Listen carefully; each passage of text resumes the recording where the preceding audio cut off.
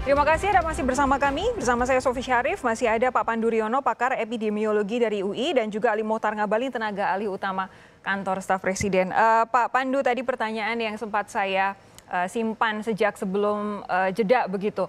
Apa bahayanya di tengah pandemi ini kalau kemudian ada warga yang bisa pergi keluar kota dengan hanya surat keterangan sehat saja? Nah itu yang dulu kita sudah buat dari pemodelan prediksi bahwa bila arus mudik tidak dilarang maka akan terjadi kenaikan kasus tempat-tempat tujuan, uh, tujuan mudik. Walaupun kita lihat ada larangan, tetapi kan larangan itu tidak efektif berjalan. Seandainya 50 persen saja efektif, itu tetap terjadi eh, kenaikan kasus di tempat-tempat tujuan mudik. Uh mhm. -huh. Jadi siapkan saja dari teman-teman dari Gubernur Jawa Barat, Gubernur eh, Jawa Tengah dan Jawa Timur untuk mempersiapkan layanan kesehatan supaya karena masalah ini tidak bisa berhasil dicegah di tingkat di hulunya sehingga di hilir yang akan mendapat korban dari kenaikan kasus ini.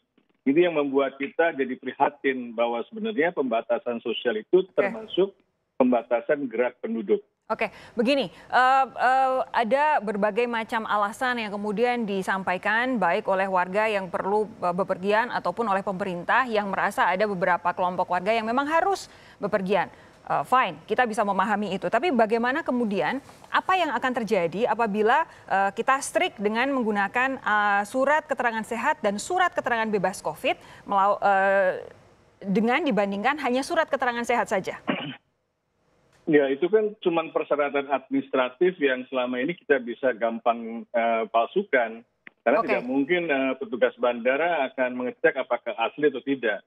Ini membuat kita sebenarnya masyarakat, ah cuma surat gampang diperoleh dan pasti bisa tembus. Menurut Jadi, Anda apakah hasil lab, surat hasil lab itu juga gampang untuk dipalsukan?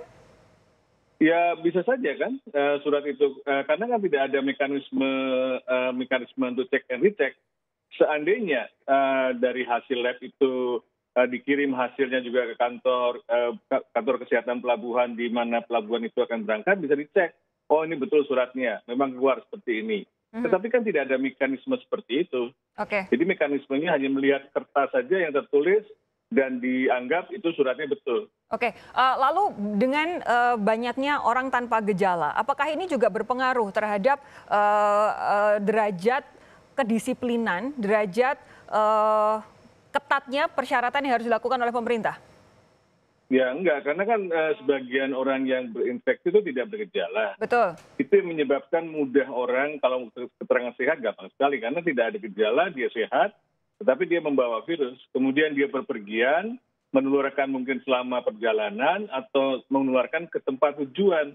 Nah ke tempat tujuan kalau dia ketemu sana eh, ketemu dengan sanak famili dia akan menularkan kepada sanak familinya yang tadinya eh, tidak kena menjadi kena karena datang dari daerah daerah yang memang hmm. masih epicenter eh, pandemi ini karena kalau surat keterangan sehat saja ini tidak kelihatan ya bahwa dia sudah jadi carrier virus ya. Betul. Oke. Tidak uh, mungkin kalau tanpa testing. Ya betul. Uh, saya beralih lagi ke Pak Ngabalin. Pak Ngabalin begini, Menteri Koordinator PMK baru saja tadi ya. menyatakan bahwa akan ada kajian bahwa surat keterangan sehat harus setidaknya dikeluarkan oleh selevel kepala puskesmas. Ya. Berarti ini kan memang ada yang salah atau ada yang ada aspek yang bermasalah dari surat edaran itu, betul? Saya mau katakan, saya mau katakan begini, uh, atas dasar satu kesadaran yang sama tentang larangan mudik karena adanya kekhawatiran yang sangat sangat tinggi terhadap penyebaran covid sembilan belas makanya kenapa saya tadi mengawali dari satu latar belakang surat itu diterbitkan tadi kan jelas atas arahan Bapak Presiden, kemudian kepada gugus tugas mengeluarkan surat edaran nomor 4 tentang larangan mudik. Hmm. Satu, kalau ini tidak menjadi perhatian kemudian hanya pemerintah saja tidak mungkin. Pasti harus mendapat dukungan dari satu kesadaran bersama-sama dengan masyarakat bahwa mudik itu menjadi sesuatu yang dikhawatirkan karena itu dilarang oleh pemerintah. Yang kedua, karena poin ini menjadi poin yang sangat amat penting, maka kalau saja kita berspekulasi dengan eh, dua eh, narasi atau satu narasi yang terkait dengan surat edaran ini, maka Pak Menko PMK tadi eh, saya dengar juga sebelum uh, kita masuk pada siaran ini ada pertanyaannya, bisa saja ya kalau itu menjadi bagian yang harus uh, untuk memperjelas agar larangan mudik itu tidak bisa lagi ada satu okay. uh, berkening, maka saya kira surat edaran itu juga akan disampaikan oleh ketua, uh, ketua gugus tugas. Uh, lalu begini, tadi yang disampaikan oleh Pak Pandu uh, bisa jadi pertimbangan juga bahwa kalau surat keterangan, apa pun itu bentuknya, surat keterangan sehat maupun keterangan bebas COVID, bisa dipalsukan. Bagaimana pemerintah menjamin tidak akan kecolongan untuk hal ini, Pak Ngabalin? Ya, itu yang tadi saya bilang. Kalau kalau saja karena kepentingan orang harus mudik, kemudian mereka harus memalsukan, kemudian harus mereka membohongi dirinya sendiri, atau mereka melakukan spekulasi, bagaimana seberapa jauh sampai kapan kita harus sadar terhadap bahaya eh, COVID-19 ini. Jadi nah, ya semua lembaga ini, kenapa? semua uh, pihak ini harus sadar, tapi pemerintah tidak akan mengubah apa yang ada di surat uh, apa yang jadi keputusannya.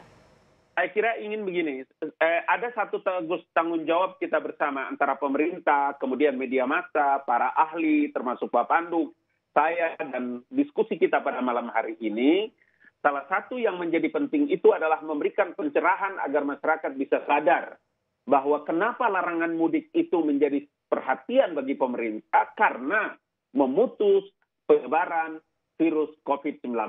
Okay. Bahwa nanti ada perubahan terkait dengan teks atau naskah ini yang terkait dengan tugas uh, di surat edaran yang disampaikan gugus tugas, saya ingin katakan bahwa tentu ini koordinasi pada tingkat Pak Menko, kemudian Menteri Perhubungan, okay. dan Ketua Gugus Tugas. Pak Pandu, singkat saja, apakah kemudian uh, kesadaran masyarakat ini bisa diharapkan soal bepergian keluar kota atau menurut Anda pemerintah harus ada uh, aturan yang diubah oleh pemerintah?